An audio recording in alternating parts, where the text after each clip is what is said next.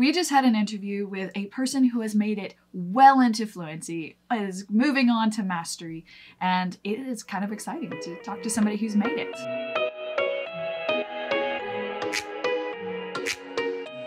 What's up guys and welcome back to WaiGuo Friends English. We are really excited to share this video with you guys. It's a little bit different format, it's a little bit longer, but it's really good for you guys to be able to see a real example of somebody that has made it to fluency and he's just a great example of the possibility of students that we see around us, including you guys. Jesus reached out to us here a few weeks ago. It's taken some time to get this interview together, but we finally managed to do it late night after all of our kids had gone down. So, what I want you guys to catch though is he's a native Spanish speaker who reached fluency before he even moved to the United States which is really cool. So he has a lot of great wisdom to share as somebody who's been down the track, who's done it before, and has a lot of great words to share with you guys. So we hope that you guys enjoy this video. We hope that you gain some great information and some tips for you on your journey, whether you are aiming to reach fluency or not.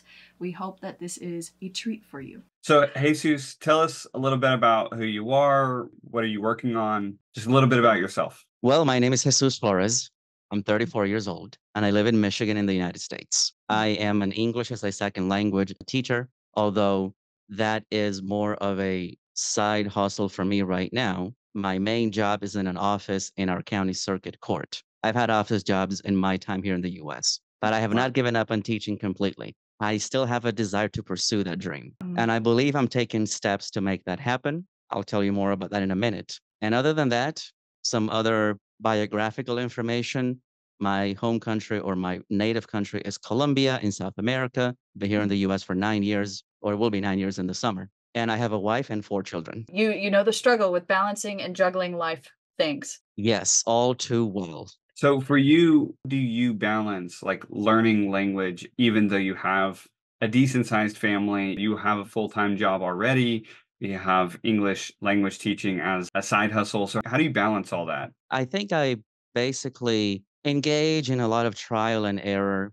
I try different schedules and different ways to fit things into that schedule. Now, about the language learning, I do need to say that at least where I see myself right now, I am not actively trying to learn English the way that I guess most people envision that mm. task. I would mm. say that I'm at a point in my life where I'm primarily focused on teaching, but at the same time, I'm trying to also conserve what's taken me all these years to acquire. So think yeah. of it as a conservation phase in my journey. It does make that a little bit easier because I'm not concerned about carving time out of the day to specifically do something that would be yeah. language learning related. I'm in what you could call a very passive stage or learning mode. Right. I'm not really concerned about output. Mm-hmm. It's more about basically conserving what I have acquired and, well, just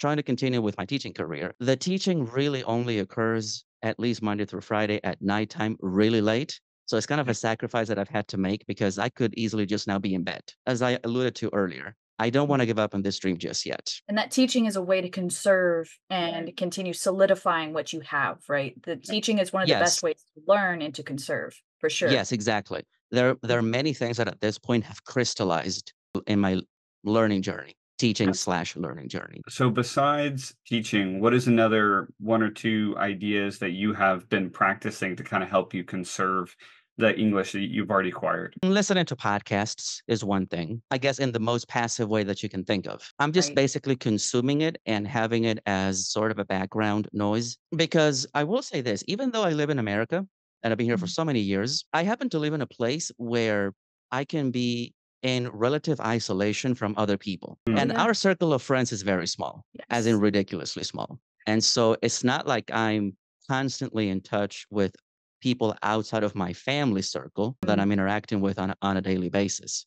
So yes. a lot of the input that I'm just receiving as a way to keep this knowledge fresh in my mind is coming largely from podcasts, which is an interesting thing because you would think that just being here would kind of like allow you to you know learn by osmosis. That's not really yeah. the case. That's been one of the big realizations in my time here in the US. I think that's what sneaks up on a lot of people that end up moving here for a career or they live here for language immersion, but they find, oh, you don't actually have to speak most of the time. Yeah. You can hide and watch Netflix and do whatever you need to do at home and not talk at all to a real human being. Mm. And so it's really easy to do that if you're not pushing yourself. And like our personal experience living as foreigners in Asia, mm-hmm. like that was the same thing. It was very easy to kind of stick to like the expat corners, the expat Yes. centers, so that you don't have to have a lot of interaction with native speakers. So it was really hard for like a native speaker to really break into circles, even though, like you said,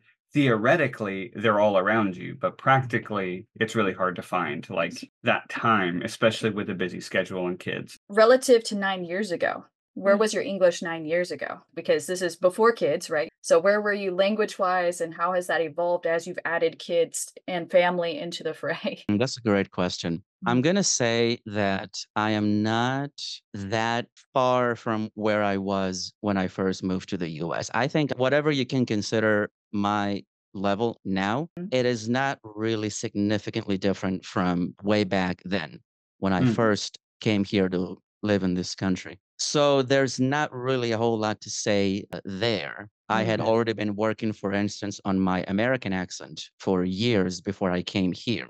I guess what has changed is that, as I said earlier, some things have crystallized in my mind and they are rock solid. So Yeah. there's Mm. no way that I'm going to lose some of those things. Mm. And with my children, I guess with my children, the thing that is now added into the picture is that my children are native speakers of English because Right. they, they've all been born here. Right. Uh, and so I guess you could say that there's that language contact from them, Right. but that's not the way that I see my kids as sources of input or anything, whatever you want to call them. Mhm. But certainly that is a fact of my family life. My wife and my children are native English speakers. Sure. And if anything, this is a point that I've not really made in my other interviews on YouTube. There were many reasons why I decided more than a decade ago to take on a pronunciation journey. But now that I have children who are native English speakers, Yeah. I also see my having acquired this accent as a way to also be for them a model to imitate, not as language learners,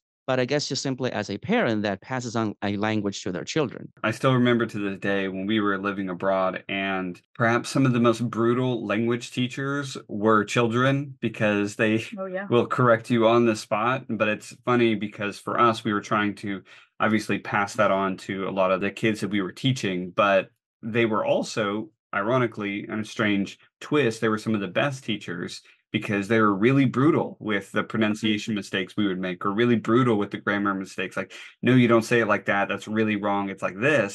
And i kind of see that like even for our own children like Mhm. how are we going to do that with them? Like certainly they acquire language pretty quickly Right. but something that i think has been fascinating me recently is that the kids can acquire language and they absorb language but they also can lose language a lot faster have you kind of seen that in your history as a language teacher Not that I can think of right now, but my guess is that most people will experience something like that if they stop putting in that time and effort investment in their learning. Maybe I can reference something that did happen to me some time ago now. There was a point, maybe back in 2020, where some changes in our family dynamic made me start to fear that I was losing something that I had worked really hard to acquire. This gets into some really personal things that I'm not really going to share here out, you know, on the interwebs. But my wife speaks really good Spanish by my estimation. Mhm. And so we have been basically in a bilingual relationship for as long as we've known one another. But some time ago now, all those years ago, I'm just going to say that there was less of a, I guess, equal exchange of languages there. And so I thought that I needed to take some steps to try to nip that in the bud, so to speak, Yeah. because I really felt that I was losing some of my fluency back then. And so I went ahead and tried for a while, which is really ironic. I went ahead and I purchased a subscription for three months on Cambly. People don't oh. know Oh. what Cambly is, which is which is the height of irony because I'm a tutor there now. I've been there as a user of the product. Yeah. I think it has a lot going for it. I really do. I can gripe about a lot of things there, but that's not here or there today. I can say that that was a personal experience of mine where something was just like backsliding in a way. And I took a very concrete step to try to like stop that from getting any worse. So what did you do with the tutor that you chose or signed up with? Like what did you say? Like I want to work on this or did you say I feel like I'm slipping and I'm beyond functional fluency but something is slipping? Like were you able to put a finger on it and help your tutor or was your tutor able to say this is I, I see what's going on this is what it is? Not as far as I'm able to remember at this point. I'm going to say that basically it just simply boiled down to being in situations where I would just have to speak a lot and right. then just try to recover some of that lost Mhm. language ability. Yeah, being put in the hot seat and having to use the language quite often. Something like that, yes. Because you see, even in my daily life, a lot of my interactions, for instance, with my coworkers who are all native English speakers, it's very transactional language. There's Oh very yeah. little substance to it. That will not sustain you in the long run. What would you say is an area like you just referenced transactional kind of language? What is a kind of communication uh, setting, if you will, that's been kind of more difficult or more Mhm. advanced for you to find? So, for example, I've heard from other e- language learners that, for example, spiritual vocabulary or spiritual instances, spiritual discussions can get really difficult. Like, I know how to do business or I know how to be a teacher, but like when I get into these other contexts, I find that that's surprisingly more difficult. What context do you have in your history have you found to be more difficult? I was thinking about that one that you just mentioned, aspects about your religion, if you have any. Well, that one can be, I guess, a lot of things. Um, certainly, I guess, in a country such as this one, Yeah. where you basically you run the gamut of no particular religion to being very firm in, in your beliefs. I think it's two things, and one is not just about the language. One aspect there that I would argue is that we don't really, I'm going to say, do enough introspection when it Mhm. comes to why we believe what we believe, and we don't really think critically about those things unless we were to be challenged in those things. Mm. And you know, then the language kind of also goes hand in hand there. It's not a conversation that I have frequently. I will say that. And I guess most people are not going to be quite receptive to it unless they were your co-religionist, for instance. That's a little bit different. That's more like Mhm. preaching to the choir. But I Mhm. guess as a way to have more in-depth conversations, at least here, my own gut feeling is that it's a topic that most people steer clear of, whatever the reasons uh, may be. It depends on the part of the. Because I've had very in depth uh, conversations with people with no religion or people of other religions just fine. It's been a no problem. But again, it really depends on where you are. The American South, you can have those conversations a lot more openly than in the North, for example. That would be a little bit trickier out there, out West, much more tricky there. Yeah, and even in so certain too. groups inside of it, right? Where Yeah. you may be in a more open group, like your circle, your circle of friends, your circle of influence may be just Yeah. framed in such a way that, like you just said, like it's more reinforcement rather than Mhm. like debate oriented. So, Sure. My own experience has been that most people shy away from confrontational interactions. It really turns a lot of people off. And this is interesting. I love having these conversations specifically about spiritual things because it is difficult and it Mm. pushes people to the edge of their language ability, right? And it causes a lot of introspection. And but having that conversation and wrestling with that in your language, it forces you to put words to things that are very abstract, just extremely abstract, things that maybe even you try to shy away from normally in your own culture, right? Very good way to like really push to the end and be prepared for those people that do come up and they will ask, right? Because some places are worried about confrontation. Some places don't view it as confrontation at all. It's pure curiosity. So part of it too is gauging what's the intention of the person asking you yeah. as well. Great way to push to the limits of beyond functional fluency. One of the questions I wanted to ask you specifically, because this is where so many of our students are, so many people on our YouTube channel are at, they are advanced learners using intermediate strategies to try to grow in the advanced levels. We talk a lot about shifting from intermediate to advanced learning strategies in order to just be able to grow because it's like you hem yourself in quite a bit uh, when you use intermediate strategies. It's been years ago for you now, I'm sure. Can you try to name some of those in your own personal journey with language and what how you identified what you were doing, how you figured out finally that something wasn't working and how you shifted in order to be able to grow in the advanced And the same for advanced to fluent. If you want to make it more linear, that's okay. One thing that I would say is that I had plenty of opportunities back where I came from Mhm. to interact with native speakers face to face. I'm going to say that that was a pivotal moment for me. And I sought these opportunities out. I made very concerted efforts to do this. And I was very fortunate to live in a place where, for instance, we had lots of Peace Corps volunteers. Some of them started a conversation club. I was involved in managing and running that. And so Yeah. I took a very active role there. Now, I will say this that was primarily for me a way to test out all of this pronunciation things that I have been working on because I took lots of accent training courses here and there. And I went to these things primarily with the intention of testing this out just to see if what I was learning was legit and if they could understand me without any difficulty. And I think it worked. Other than that, probably I could add that one thing that worked wonderfully for me Mm. was that I got really into anime many years ago and I was Mhm. listening to the English language dubs of these shows. I collected lots of vocabulary in these shows and I really mined those things. I really try my best to squeeze them dry of language. I mm-hmm. recorded those things, I wrote them down, I had some example sentences written down as well.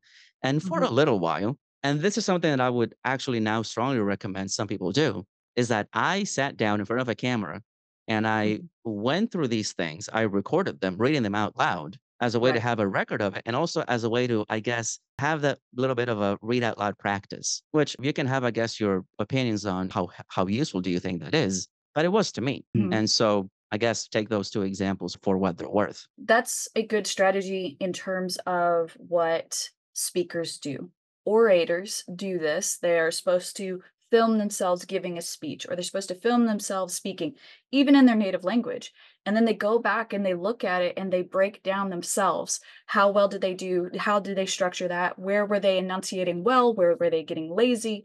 This is a very common speaker thing to do. And we actually encourage doing that same thing in English as well, especially in the intermediate levels where you're still trying to figure out a lot. Once you get up into the advanced levels, I mean, it's helpful for tricky grammar and things like that that you're not sure like just to sit down in front of a camera and in front of your phone and just talk about something something difficult that you've been wrestling with how should i say this?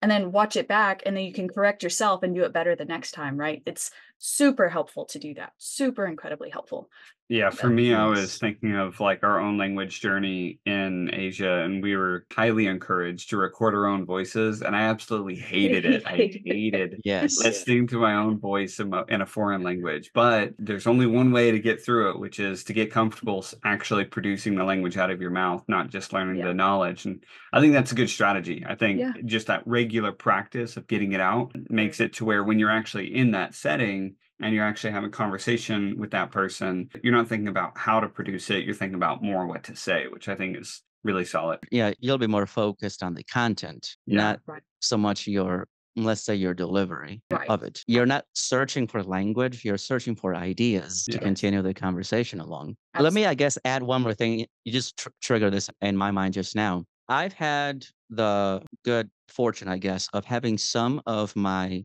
students on Cambly share some of the recordings of my lessons there uh, Mm. with me. And. I've listened to some of these things primarily as a way to, as a teacher, evaluate my own teaching and just see what bad habits I can get rid of or how I can better explain something or introduce something. And also how much of the talking I'm doing as opposed to the student. Yeah. That's something that language teachers struggle with. How do you keep your teacher talk time down and Yeah. give the learner a chance to basically be in the driver's seat? Mm. It's hard. Now, luckily for me, I'm going to say this. It took me a while to get over that cringiness of listening to my own voice, but I'm pretty comfortable there now. And so I'm glad that that's not an issue for me anymore. Now it's just more about refining my teaching technique. What for you was like a benchmark when you knew, like, not like I've arrived, but like you said, like right now, my main focus is mm-hmm. on conservation rather than like full development. So, like, what was that moment that you're like, I did something and I did a thing? Like, before I couldn't do the thing and now I can do the thing. Is there anything like that for you? I'm sure there's been a series or a number of like milestones like that. Now, related to my conservation phase, I'm not really sure. I think it's just simply being a lot of small things that basically have that cumulative uh, you know, effect to them. But I guess just looking back farther into the past, one very clear moment for me uh, when I knew that I crossed a threshold was Yeah. when I was able to watch a segment of a newscast in English. It used to be a thing back where I used to live in Colombia that some Mhm. of the TV providers would have a handful of international TV channels. One of these was CNN. And I Mm, remember that I went from just being completely lost trying to listen to what the news anchor was saying to being fully able to follow Yeah. an entire segment, like five or six minutes, whatever it is that they, they do these days. I'm going to say that our attention spans are getting shorter and we Oh, seem to rely on sound bites all the time. Yeah. That's for another time, I guess. But for me, that was a big breakthrough. I went from being totally lost to following every word that the reporter was saying. So that was amazing. Uh, one of the questions I have for you as well is up in these upper levels, when you hit a plateau, what do you do? Like you said, you mentioned that time in 2020 where you felt you were slipping. That's kind of like different than a plateau, right? It doesn't feel like you're not It's, going anywhere. yeah. It feels like you're going backwards. How do you know when you're on a plateau in those higher levels? And what do you do to get off of it? That is really tough. I'm going to say that you would have to get really granular about something like this because I'm thinking, I guess, of the analogy of a hair's breadth. It's so fine Yeah. that for most people, it goes Mhm. unnoticed. I'm Yeah. not really sure, to be honest with you. I will say, probably just to proffer an example here, the one skill in the traditional sub skills of language that has lagged behind for me has been writing in general. I think I have some pretty decent writing skills, but I've not been in situations where a, let's say, a sound Mm, knowledge of writing skills has been required of me or needed. I've never been in that situation, not to date. Yeah. That mhm, might change. And if it does come to that point, I think in my mind, I have a very clear idea of what to do. And that is basically to seek out a tutor, someone Yeah. who is highly specialized uh, Mm, in that area of language production and just take a course because Right. I think there's only so much that you can accomplish on your own. And I admit that even as a teacher. So Yeah. that's one area where I would definitely just seek out some external aid. I would not rely on myself to do that if my circumstances were to demand that of me. Writing is particularly one of those where it's it's better to have a reader, not just to write something, but to have an actual person to kind of give some feedback on it. It's a lot like the other Mhm. productive language skill being speaking. Like you can practice speaking as doing speeches and listening and reading aloud and stuff like that, but having that communication, having that two-way street is necessary. And I would say also that writing requires more of a laser focus approach. When we speak, we're used to being kind of vague and our language can be, let's just say that there's a lot of leeway and there's mhm, a lot of negotiating that goes on between the parties. And so that's a different dynamic. But, but when it comes to a piece of written language, there's something there that's missing. That just simply requires, in my opinion, an expert, someone who is magnificently skilled in that regard. And that I can say, in all honesty, that's not me. So I would seek out that help. It's the difference between communication and crafting, right? There's there's a difference there. I mean, you're totally right. When we teach anything like writing, we do it completely differently than we do with speaking. They're both producing skills, but you can't teach them the same way. There's a lot of predicting what your audience is thinking like, right? You have to predict how they're going to take certain things. So something that you might say because it makes sense as a family joke or it makes sense from your background, you've got to be cognizant of where they are coming from. I love writing. So for me personally, this is my wheelhouse, I guess, is in the writing realm. But that's one of those things you're right with speaking, it's completely different cross culturally, especially when you're trying to operate, you're trying to read body language, pick up paralanguage, you're doing all of this back and forth, and it's very forgiving. You can make mistakes. With writing, not so much. You actually have more information, right? When you're speaking, even though So there's fewer more. words compared to like a written text, you Mhm. actually have a lot more cues to like understand. I remember like all of my students in Asia would be doing like BBC English, right? BBC News English. And it was the same thing. Like for them, it was really helpful because they had a lot of the other context of the language. And then when they were just having just a written text, just an article, and that was all they had. And the basically the discussion questions were reading between the lines.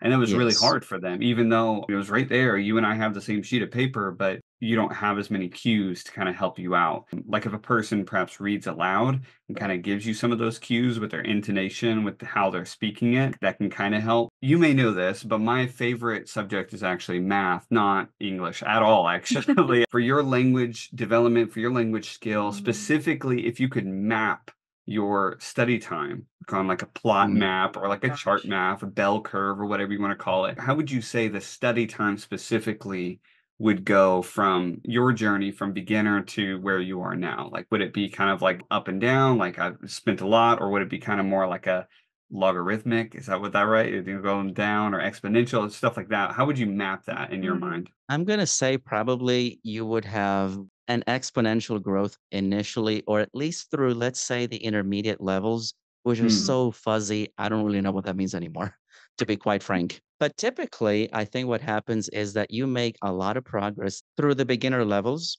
And then typically there's going to be that dreaded intermediate plateau that a lot of people hit and get stuck at. And then perhaps the study time, just trying to think back to my own experience, the study time really begins to, I'm going to say, first stabilize and then gradually dip mm-hmm. lower and lower. And probably what's going to happen is that there will be different times when dip all the way, let's say, down to a minimum.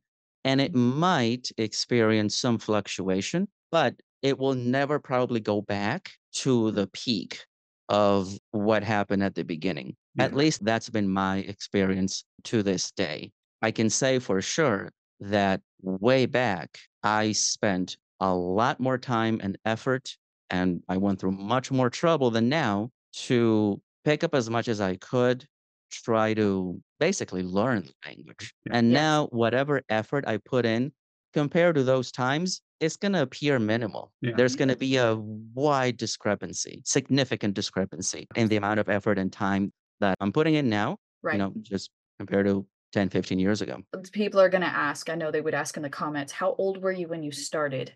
Because some people are going to say, well, if you're two or three or you're six years old and you're going to an international school, of course it's going to be more time then. Like, how old were you when you started? I like to give 14 as the mm-hmm. age when this journey starts for me. Mm-hmm. And it makes it easier for me to, I guess, tell the story. Yes. And there's basically one reason why that is the case. So, mm-hmm. as most people, I went through years of regular schooling and there was a foreign language requirement. Now, mm-hmm. for the vast majority of schools in my native country of Colombia, that is English. Mm-hmm. Some notable exceptions include some schools that give you an option to go for French, but those are really outside the norm kind of uh, institutions. They are by no means representative of the vast majority of the population. When I was 14 years old, I went to an independent language school. That was in addition to my regular schooling. That was the first time in my life that I saw learning this language differently than from my regular school days. I had, to the best of my recollection, amazing teachers. They used English almost exclusively during class. And if you have had the experience of asking what it was like for other people, in mm-hmm. other countries, you're probably going to hear that your teachers are going to resort a lot to your first language, especially when you share that language with them. And so my experience was the same. But mm. then this comes along. This is different. This this gets me pumped to get into this. Some of these teachers had lived in the US back in the 90s. I mean, this was 2004 and i was i was mesmerized by what they could do and by basically their example yeah. it lit a fire under me, if I want to use that expression. Mm-hmm. And so that gets me started, I guess, on that uh, trajectory. I would say that that's where I really hit the peak of my effort and activity, study mm-hmm. time, whatever you want to call it. It really starts to soar at that point. I think a line graph, you would see it like shooting that time of maximum activity uh, for me or increase. And then when I was 18, I'm going to say it started to stabilize, but I mm-hmm. would I think it was still a pretty intense period of activity because when I was 18, I mm-hmm. took one of these uh, international proficiency exams and I had spent about a year and a half before that preparing for the test. That was also the most in-depth study, let's say, that I had done uh, up until that point. But then after that, after I take this test and I pass and I get my certification, it definitely starts on a downward uh, trajectory. There's a trend uh, there. So it will probably never get to that peak again, at least not for the foreseeable future. So I guess you can say that it started when I was 14. I guess that there had been some preparation prior to that, but nothing really that stands out in Yeah. what I'm able to recall at this point. Some of the details are fuzzy. I mean, that was a long time ago. You've had kids since then, so Yeah. no. Indeed. And indeed. And the most amazing definition that I've seen of this is that that reduction of memories to the lowest common denominator. Yeah. And that has happened to me. A lot of those details are just lost. They're lost to oblivion at this point. There's no way that I can get that back. I don't think. yes. That's cool. I think here recently I've been reading an, a book. uh, It's called Mhm. Atomic Habits by James Clear. I don't know if you read it, but part of it that I've been thinking about a lot with the languages is like you said, like I kind of see that exponential like rise when Yeah. you're in the beginner and intermediate stages. But likewise, I saw for me too, I see that the decrease after a person's reached a goal or they've gone to advanced. But part of me also wonders that the little bit of time, like you were saying, the podcast, just the retention, the conservation, just a little bit mm-hmm. of time that you spend when you're in advanced, like yes, while you may not like uncover like a new grammatical pattern that you didn't know existed before, what's good about that is that you still are learning because of all the growth. Like you're building on a house, right? If you're trying to hang a picture on a wall, you needed that wall to be there in the first place. And so is it the decorations that make the room? Um, probably not. You need a room to have to be there, but Yeah. I definitely see the advantage of like the conservation and like the slow growth of an advanced learner, uh, especially when compared to like the skyrocketing growth from like a beginner and intermediate, like you're saying. Mm. And native speakers do this too. Like, it's not that we stop learning words, right? There's 170,000 words to learn in this language, and we'll only get to a maximum of probably knowing upwards of 60,000 if we're active writers or we have professions or we're just widely read, for example. But you keep learning. The more you read, the more you interact, the more you learn. So you're learning like we do, in a sense, by putting yourself to where you've got ears in other places. Mm, and so different Absolutely. contexts. The learning never stops. I would just say that the mode of learning changes. Absolutely. So I have one more question for you. And this might be a quick answer, it might not be, I don't know. Do you foresee yourself learning another language to this degree in the future? The short answer is no, unless things were to drastically change in my Yeah. life. As best as I can discern and plan things for the future, I don't see myself doing this with any other language. I've had fleeting interests, kind of like flirting with other languages here and there, but nothing has ever come close to my life forming experience with this language. I will say something like this to you, and this is going to sound really interesting or maybe strange. When I look at my two languages side by side, I Mhm. feel that my communicative competence in English far outdoes my communicative competence in my own language. Yes.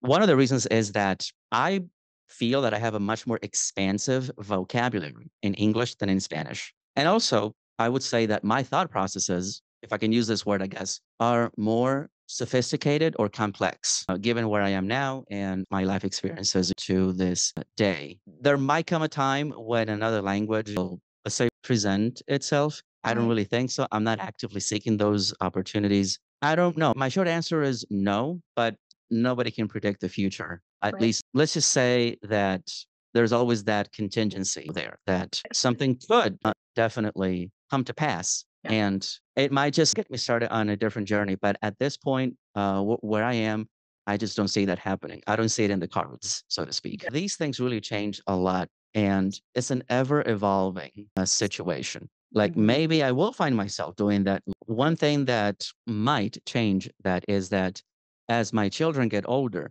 I believe that they will show more of an interest in picking up Spanish. They're not there yet. Uh, The one that seems the most open to the idea is my daughter. She's Mhm. definitely shown more of an interest than her brothers. For instance, my daughter is turning five in, in July, Right. and it is certainly not there. There's no real interest that I can discern at this point. But when that changes, I Mm. will have to get my act together with Spanish. I know that that will happen eventually because they're also going to be interested in connecting with my family that's still there that does not Mm. speak English. That may motivate them to do that, to pursue Yes. that. Absolutely. There's nothing like it. And so for them, especially, it's a great and healthy thing to do that. Of course, not to mention super useful to be bilingual. So Yeah. they can get to that point, like as you have, like that would be an amazing asset to go into adult life with. I think about like people that learn American Sign Language, and a lot of them don't initially inspire to do so, but kind of like you're saying, like life circumstances and communication